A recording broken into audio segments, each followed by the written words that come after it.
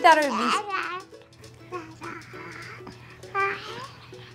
we thought it would be fun to share some tips. Well, Spurgeon Spurgeon was kind of bald. Spurgeon was kind of bald for a little while, but he's like, don't talk about that. He's got his hair growing back now, so we put like some aloe vera baby hair product in there, and um, and we could kind of just give him the comb over, you know, Set to go.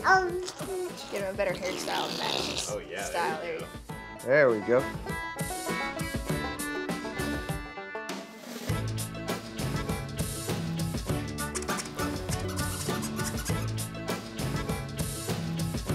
Oh, you gonna get him?